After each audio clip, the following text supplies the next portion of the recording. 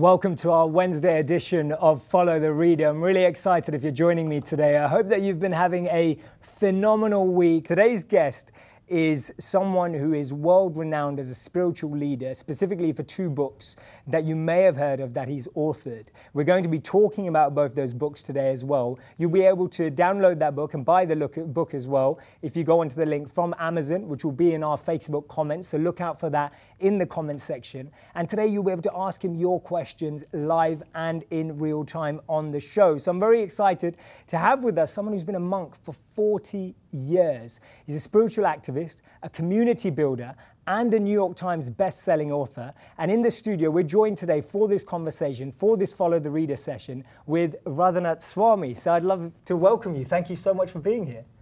Thank you, Jay. I'm so honored and grateful to be with you and your wonderful audience. Well, we're really grateful to have you here today. And I know that there was a lot of love, a lot of interest in your topics. Some people said they'd already read your books, and a lot of people said they had a lot of questions for you. And one of the first questions I wanted to start with is so, your latest book, The Journey Within, this is the book that we're talking about today. You can see it there. It's a New York Times bestseller. And in this book, of course, it's titled The Journey Within. I, I wanted to start off by actually asking you how does someone even come to the point of starting their journey within. I think we always talk about travel as being a big trend. People are really excited about going to different countries, traveling the world. But here you're talking about the journey within. How, how did that journey begin for you? One thing we all have in common is the search for happiness. in the Vedas, there's a beautiful verse, Ananda Mayo Bhyashat it's a universal principle, whether we're little ants or cockroaches or animals or any variety of human beings, everyone is looking for pleasure. There's an analogy in the Himalayas I learned long ago when I lived there of a deer that has a particular gland that creates a fragrance called musk. That deer is so attracted by the fragrance, wants to find it, and spends his whole life crossing rivers, going over mountains, going into thorny bushes, trying to find that fragrance, not knowing that it's actually within himself. In the same way, we're all looking for happiness. We're trying to find it through wealth, through power, for sexual pleasures, through acquisition of property and money, through entertainment. But somehow or other, that happiness, it has beginning, it has an end, and has so many limitations and vulnerabilities. True happiness, all the great sages and rishis from all the spiritual traditions throughout the world have taught us that that happiness is within ourselves, where sits the actual, the Atma, or the living force. And things could give some degree of pleasure for some time to the mind and senses, but things cannot give fulfillment to the heart. It's only to love and to be loved that we can actually experience pleasure within ourselves. And the origin of that love, from a spiritual perspective, is the true journey within. Amazing. So, I mean, that's an amazing, beautiful encapsulation of the journey within. But I also understand from reading your previous book, The Journey Home, that that journey actually began by you. You've just told us about the Himalayas and a story from that you heard from there, but your journey started off in the suburbs of Chicago and then actually hitchhiking in that direction towards India. So your journey within also began with a physical journey. Can you tell us a bit about your travels when you started out? Well, I was a teenager in the 1960s, and I saw many situations in the society around me that created both grief and confusion. Because I really believed in the concept of America as the land of the free with liberty and justice for all but I saw people of another color, specifically the African Americans who I worked with because I had jobs since I was a teenager. And they were practically imprisoned within ghettos. they really didn't have equal rights. They didn't, in many places, they didn't have voting rights. They didn't have the same opportunity for education. And it troubled me. So I got involved in the civil rights movement, Dr. Martin Luther King. And the Vietnam War was raging at that time. And I was open for the draft, you know, quite soon. I questioned, why are we there? Many different situations really caused me to question everything about life. And then one of my best friends, his car skid on ice and it went into Lake Michigan and he died. And I was thinking, it seems like the whole world is skidding on ice. So I was a social activist, but I came to a conclusion that the real solution we have to find within ourselves. I heard the statement of Gandhi that we should be the change we want to see in the world. So I believed that that change is something spiritual. So I started studying various spiritual um, paths, and I was confused again because I saw in the name of religion there's so much hatred, in the name of a loving God, much prejudice, much division. So I was at a crossroads. Either I have to reject the concept of religion, or there must be something at the very essence of all of them that really brings about a true transformation from arrogance to humility, from greed to generosity, from hate to love. And I was searching for that essence. And I write in my book, The Journey Home, how one of my dear friends was going on a trip to Europe and he invited me to come with him. And he was willing to pay for it all. And I went to Europe when I was 19. And the first day, my friend was robbed so we didn't have anything. So I ended up just hitchhiking around Europe and making the social scenes. This was in 1970. And eventually, I became so oriented towards spirituality. I was going to synagogues and cathedrals, monasteries, um, churches. I was going to museums, trying to find some spiritual message in the, in the art. I ended up living in a cave, in a forest, in an island of Greece, and I was crying for direction. And it was there that I got the inspiration to go to India. So I hitchhiked through Turkey, Iran, Afghanistan, Pakistan, and I studied Islam there uh, under some really wonderful Islamic scholars. And eventually I made it to India and I went to the Himalayas and studied various forms of yoga, Hinduism, Buddhism, and eventually came to a place called Brindavan, which is like a place of pilgrimage for the path of bhakti. Bhakti means love for God and compassion for all living beings, and bhakti yoga is the path that is meant to awaken that dormant love that's within us. It's incredible that you're talking to us about the 1960s and 70s, yet some of those challenges are so apparent today. I'm sure many people listening to you feel those, they're asking the same questions, that they're feeling the same way when they look at the news. I know that many of you in the audience, when you're sending in your responses, you're asking there's so many things in the media and the news that are bringing us down or we're quite confused by what's happening. I've just seen a question coming from Thea. She says, Can I make a change to the world with my small efforts? It's a question posed to you. The real change of the world is based on quality, not necessarily quantity. In the Ramayana, there's a beautiful story where Hanuman, who was a very powerful personality, he was building a bridge across an ocean. And for a very divine purpose. And he was carrying massive boulders. And as he was carrying, he happened to see a little tiny spider. With his little legs just kicking one grain of sand at a time. And Hanuman stopped to wait for the spider to cross. And Ram, his beloved Lord, told Hanuman that actually that spider is doing every bit as much as you. You're doing what you can, and that spider is doing what he can. So, really, the fulfillment and purpose of life is not so much how much we do, but the, the intent in which we do it. And each and every one of us can orient our life in such a way that we're trying to excavate that fulfillment, that peace, and that love that's within us.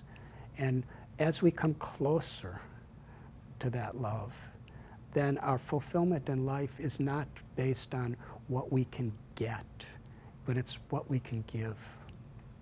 And each and every one of us, big or small, we can be a part of changing the world. And that's where the true meaning and joy of life is. Kevin, uh, Radhanath, how did you discover your clarity through the confusion of all that you learned on your journey? So. It's through confusion, it's through challenges that often inspire us to search deeper. Obstacles are actually great aids to enlightenment and to a deeper meaning in life. When we're content and satisfied with superficial things, that we never really look deeper. So the frustrations and difficulties we endure in the path of life actually can be seen as blessings because they help to make us more aware that there's something deeper, there's something more profound that's really my, my purpose and also my potential. I hope you're engaging and learning from this conversation. I hope that you're taking away these insights and that they're making a difference. Now, in this book, you talk about the path of bhakti yoga. Yoga is something that's very popular today. Many people practice yoga. We have a question here from Ben Wiley who says, What would be your three tips for someone wanting to begin exploring bhakti yoga. But maybe before that, you can define it for us and then, and then give us three tips on how someone can explore them. The word bhakti in Sanskrit, which is the language of the ancient scriptures of India, it means divine love. Savai sang poro dharmo yato bhaktir That the deepest dharma the highest dharma is awakening the love that is within us. This love is beyond birth and it's beyond death because it's the nature of our very soul. The beginning of bhakti, like so many paths, is to understand who am I. Until we understand who am I, we can't really understand how I am going to be happy.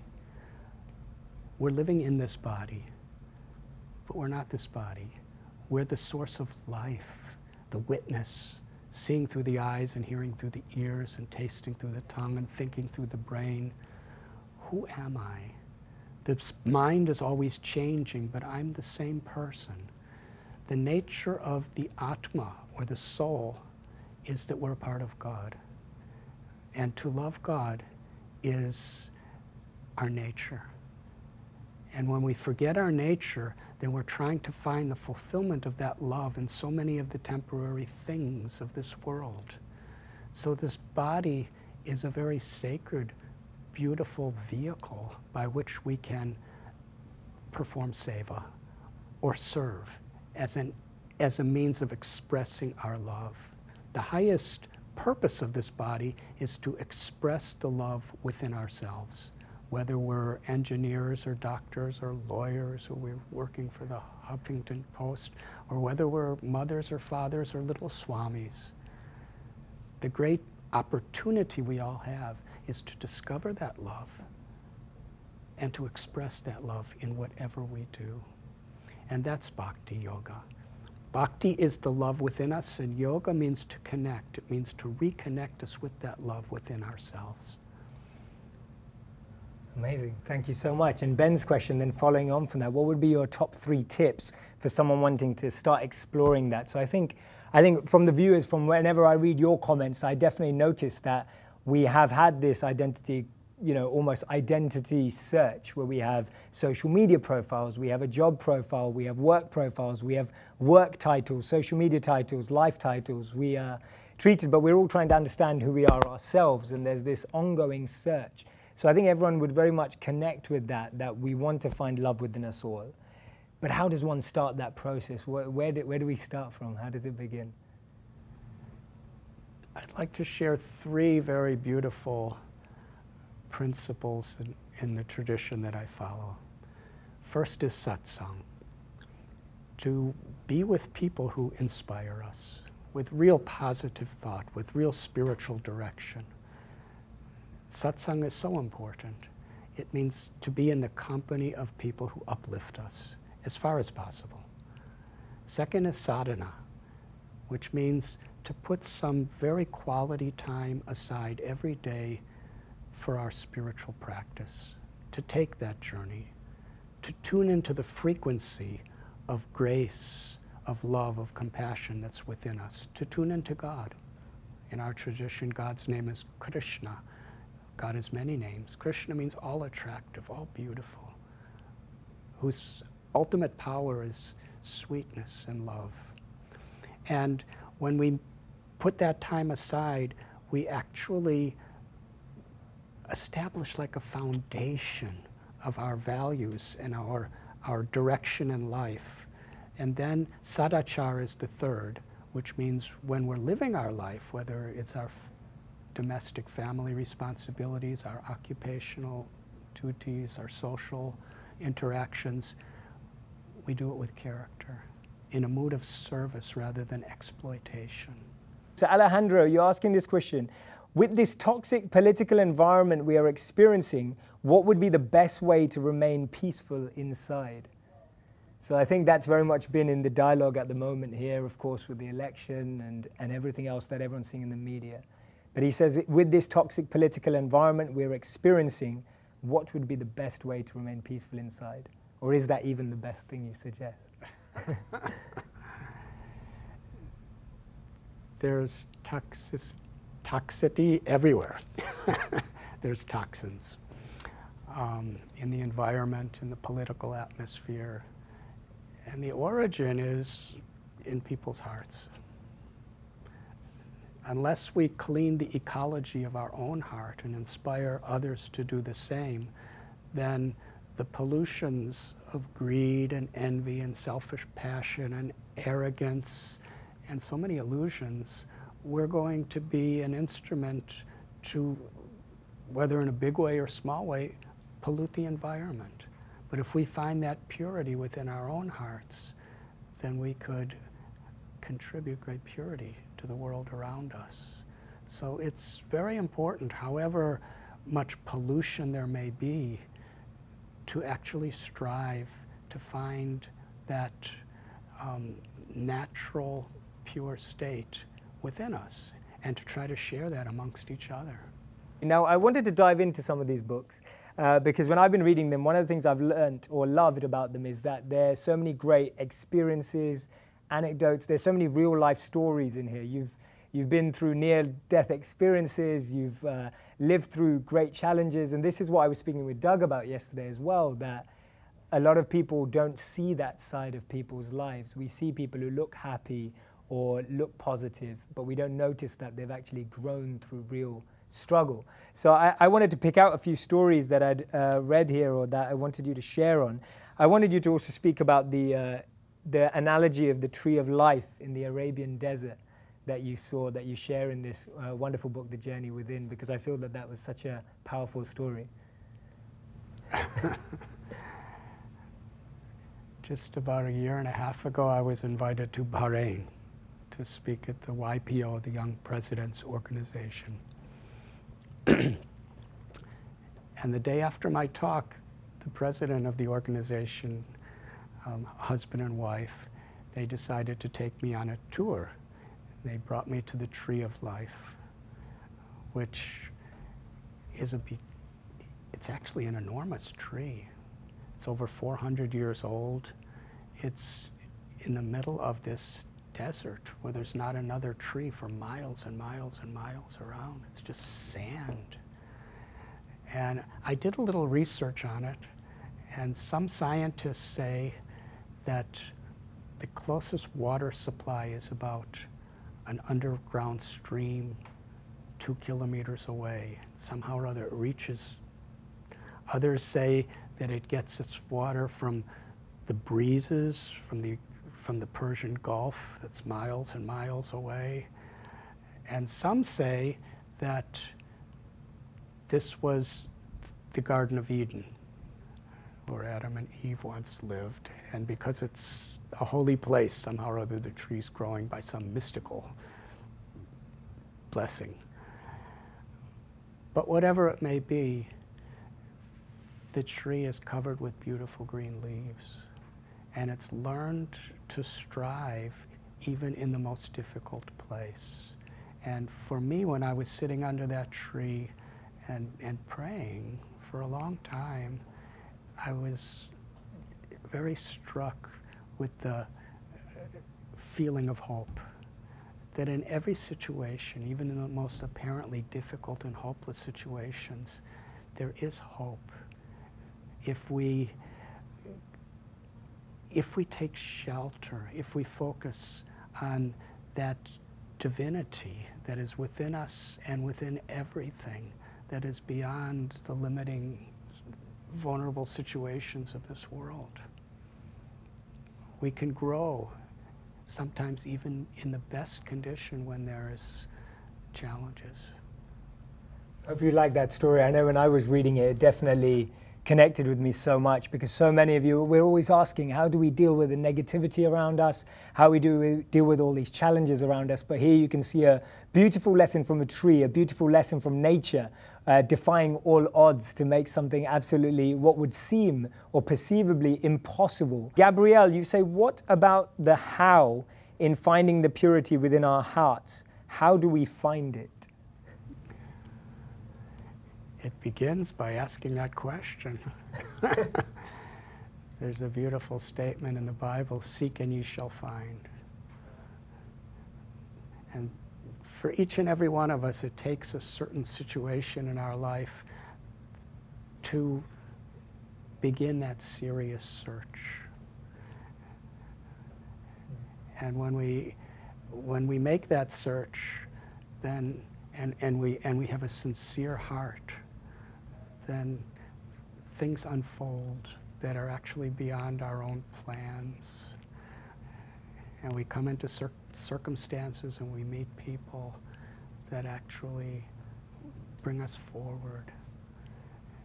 It's, it's amazing, isn't it? Because we're so used to now like strategic lifestyles or lifestyles based on goals and measurable targets, and everyone through their work experience knows that there are certain deadlines and, and we work in that way, but actually you're saying that this, this journey within or this questioning is actually a lot more open. Uh, is that right? Is that correct? Or how, how would you phrase that better? It's a deeper experience. And ultimately, we're all looking for that deeper experience. The deepest experience that we're really all seeking is the love that's within our heart the countless desires, the inevitable frustrations, the longings, all of the various situations in our life, they all stem from that love that's within us. And that's the purpose of all true spiritual paths, to discover that love. And the real expression of that love is compassion. There's a beautiful verse in the Bhagavad Gita, Yad Yatva Napunaramoham Evam Yashashi Pandava.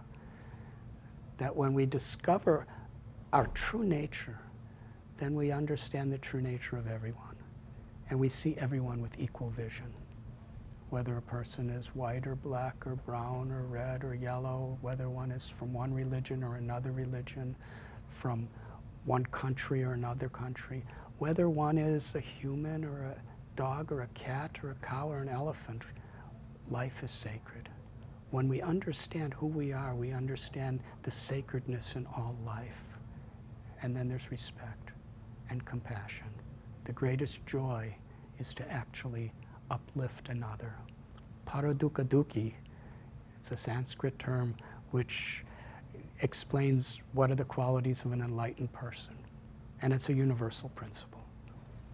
One who sees life in such a way that another's happiness is my happiness and another's sorrow is my sorrow.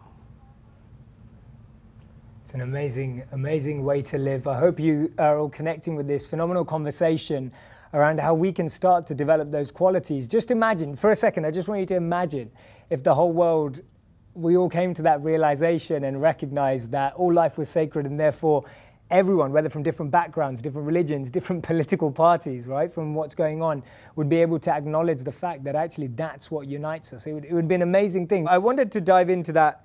You've just, you've just brought up a lot of great points. You spoke about service, generosity, and you speak about one personality in this book that I feel really kind of encapsulates it. And I know the pages, it takes quite, it's a long story, uh, but it's the story of Sindhu Sindhutai.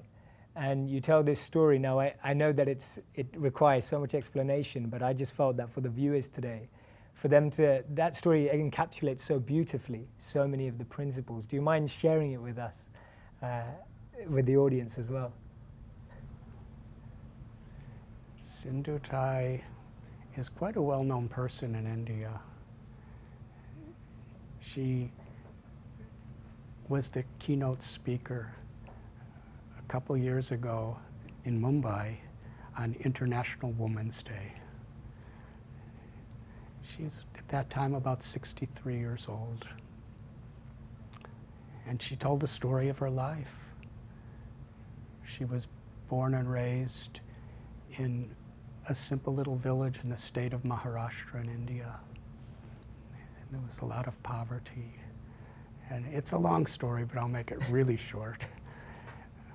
But she had to go out and herd buffaloes instead of go to school. And gradually she, she figured out how to bring the buffaloes to a pond of water and then run to school. And she'd get sometimes beaten because she was late. And then the buffaloes would go into the pastures and she'd get beaten by farmers. And she said those were the best years of her life. When she was about 10 years old, she was forced to marry a person who was 30 years old. By the time she was 20, she had three sons and she was pregnant. And somehow or other, there was a social condition where a person from the mafia was against her, the local land mafias, and um, told her husband that she was cheating on him and that the child in her womb was not her husband's, but was this person who was speaking.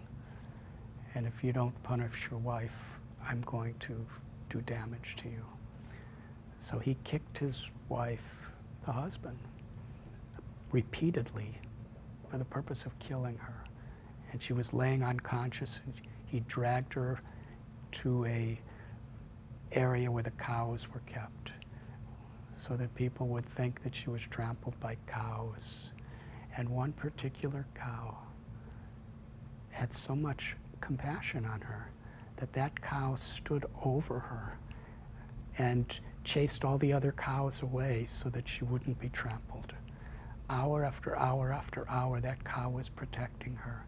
And she gave birth to a daughter under the cow and had to cut the umbilical cord with a stone.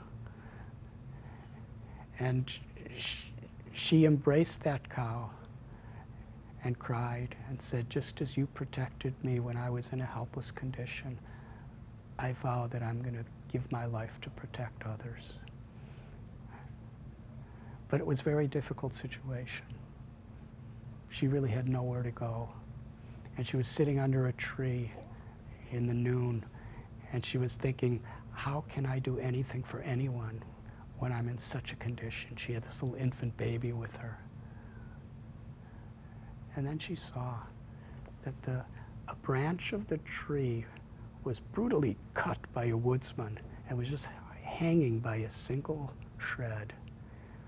And that branch was giving shade to her and her little daughter. And she was thinking, yes, that's the answer. No matter what condition I am, I can still help others. And she became the mother of the orphans. She would just find uh, homeless little children of all ages, which is very common in India, and she would be their mother. and eventually she, um, she had you know, so many children, and people saw. She would learn singing, um, to beg for the children, and provide for them. And some pious people built an orphanage for her. And it was growing and growing, and over the years, she's had over 1,500 children, and more than that, grandchildren. And she said the most fulfilling part of her life was one time about an 80 year old man came to her orphanage and was homeless, diseased, and destitute, and was asking for her help. She recognized it was her ex husband. And she said, I will help you, but not as your wife, as your mother. And gave him shelter in the orphanage. And she told the children that give him your love because he needs it more than anyone. And she would sometimes tell guests that this is my eldest son, and sometimes he's very naughty. so she was telling this whole story. She's gotten um, dozens of international and national awards for her work. And I met her about a year after I heard this story. And we sat together for a couple hours just talking, and she had some people with her. And when it came time for us to part, she said to me that this girl next to me was a, she was like in her 30s. She was really um, smiling the whole time. She said, I want you to, in, to introduce. This is one of my daughters. She's a doctor who's taken charge of one of the orphanages. She's the one who was born under the cow. So she taught us that even in a hopeless condition, she looked for hope and she found it. And sometimes the sufferings of life could really make us more compassionate. And she found, you know, her strength in devotion to God, who she calls Krishna. and she shared that love. She had so much too. And we all have that love. When I met my beloved spiritual teacher, Prabhupada, I felt something so special that he saw a love in me that I never could imagine existed. When we're with holy people, they see our potential and they give us faith in our potential. Oh, what an incredibly significant story. I can see all of you thoroughly engaged while you're listening to that. I mean, to find opportunity and one of the biggest obstacles that many of us would never even face that degree. And being able to give people what we never had is the first step that we can all take in trying to change the world, giving people opportunities that never came around to us. That cycle has to be broken somewhere. And that's something that we can all do as global conscious change makers in our own lives and in the lives of others. Another thing that stuck out to me, which I think we're just covering every topic that's been resonating all week with everyone is really around your example also of the redwood trees that you speak about. And I really feel that the audience will connect with this story too. So do you mind sharing a bit about that? Thank you, Jay. Some time ago, I was with a friend and we were walking through Muir Woods, which is a redwood forest close to San Francisco.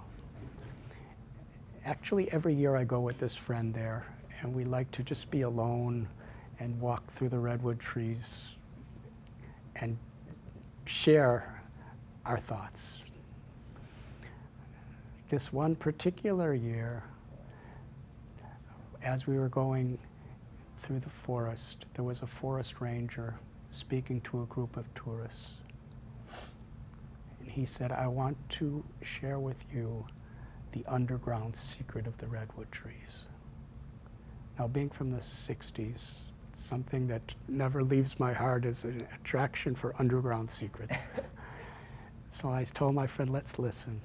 So he stopped and he explained how in this forest we find some of the oldest, largest trees in the entire planet.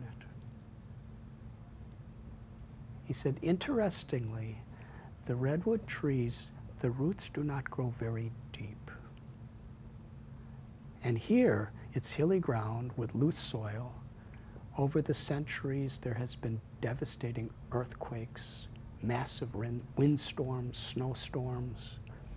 How do these trees keep growing? And he was quiet to let everyone think. And then he revealed the underground secret. Just underground, the redwood trees, the roots, they grow out. And they reach for the roots of other trees. And when two redwood trees' roots meet, they wrap around each other. They embrace and create a permanent bond. In this way, the trees support each other and the little tiny redwood trees that are just growing, the giant roots of the ancients, they wrap their little thread like roots around them. And in this way, they're all helping each other. The, the ranger said, every tree in the entire forest is directly or indirectly supporting each other. Now, the roots of our lives is our heart's affection. When we actually care about each other and share what we have with each other, unity is our strength. And this story of the redwood forest, despite all the storms and challenges of life, we can continue to grow and grow and grow. And we need each other to do that. What a beautiful message of hope, courage, enthusiasm, passion for every single one of us all in testing times, in challenging times, in any obstacles, any situations that you're dealing with. I hope that you've enjoyed our conversation today. I hope that you've really taken away some nuggets of wisdom, some inspirational insights that you can apply into your daily lives, apply into the context and dialogue of your own internal minds and hearts. And if you do want to find out more, you can, of course, uh, order the book, The Journey Within. We will pop the link into the comments section so you can order it off Amazon. It is available. And the first book, The Journey Home, as well. The question that's asking here, just to finish off, Radhanath Swami, is is there another journey to be had? So, is there another book? So, we have the journey home and the journey within. Is there a further journey that humans need to take? In our tradition, we have a meditation of chanting God's names. And through the compassion and the love that awakens through that, we can actually re- we can extend the roots of our real concern to, to uplift each other.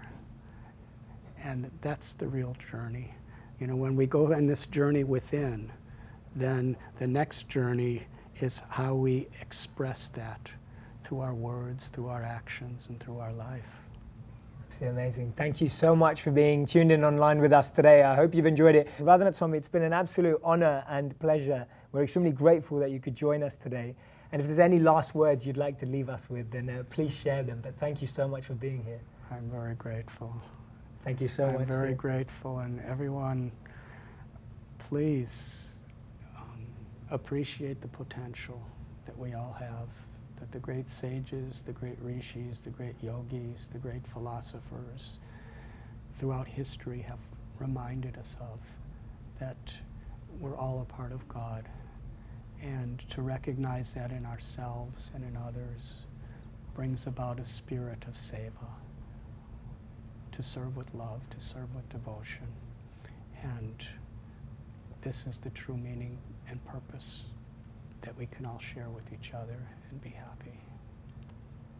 Thank you so much. So we look forward to serving all of you again tomorrow. Be here at the same time, same place with a fantastic guest. So I look forward to you joining me then. Have a wonderful morning, afternoon, evening, wherever in the world you're tuning in from. Look forward to serving you tomorrow. Thank you so much. See you soon.